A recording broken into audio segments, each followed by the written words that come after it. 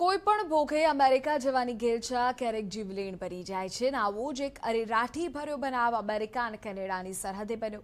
ગેરકાયદે અમેરિકામાં પ્રવેશ કરવા જઈ રહેલા ચાર ભારતીયોના આકરી ઠંડીમાં મોત થયા છે. સ્થાનિક સમાચારપત્રોના અહેવાલ મુજબ આ મૃતકો ગુજરાતી હોઈ શકે છે.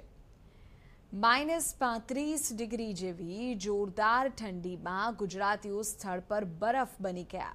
આ મૃતકોમાં પાંત્રીસ વર્ષીય જગદીશ બળદેવભાઈ પટેલ, તેમના પત્ની વૈશાલી પટેલ, તેર વર્ષીય પુત્રી ગોપી અને ત્રણ વર્ષના પુત્ર ધાર્મિકનો સમાવેશ થાય છે.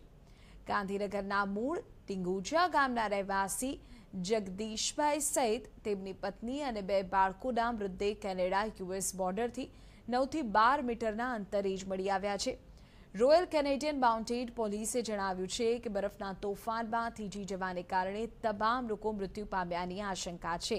આ મૃતદેહ મળ્યા પહેલા એ જ દિવસે યુએસ તરફની બોર્ડર પર એજન્ટે એક ગ્રુપની અટકાયત કરી હતી, જે થોડા સમય પહેલા જ બોર્ડર ઓળંગીને ગયા હતા.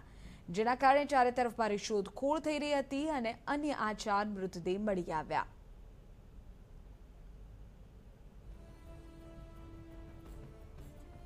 આ ઘટના અંગે કેનેડામાં ભારતીય રાજદૂત અમર બિસારિયાએ પણ દુઃખ વ્યક્ત કર્યું. ટ્વીટ કરીને લખ્યું કે આ એક દુઃખદ ત્રાસદી છે. અમે આવી ઘટનાઓની તપાસ માટે કેનેડાના અધિકારીઓ સાથે કામ કરીશું.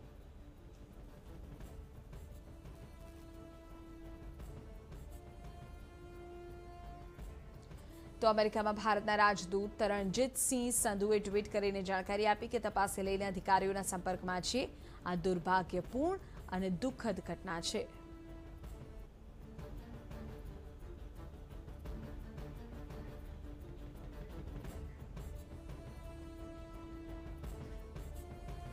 આ તરફ ભારતના વિદેશ પ્રધાન એસ જયશંકરે ટ્વીટ કરીને લખ્યું કે કેનેડા, અમેરિકા સરહદ પર એક બાળક સહિત ચાર ભારતીય નાગરિકોના જીવ ગયાના રિપોર્ટથી હેરાન છું.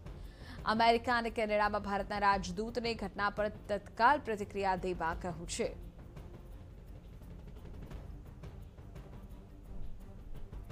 તો કેનેડાના પીએમ જસ્ટિન ટ્રુડોએ કહ્યું કે તેમની સરકાર માનવ તસ્કરી રોકવા માટે દરેક પ્રકારે પ્રયાસ કરી રહી છે. અને અમેરિકા સાથે આ દિશામાં કામ થઈ રહ્યું છે. આ ઘટના હચમચાવનારી છે. કોઈ પરિવારને આ રીતે મરતા જુઓ એ ખૂબ જ દુઃખદ છે. આ જ કારણે અમે લોકોને અનિયમિત કે ગેરકાયદે સરહદ પાર કરતા રોકીએ છીએ. તેમણે લખ્યું કે અમે જાણીએ છીએ કે આવું કરવું એ મોટું જોખમ છે.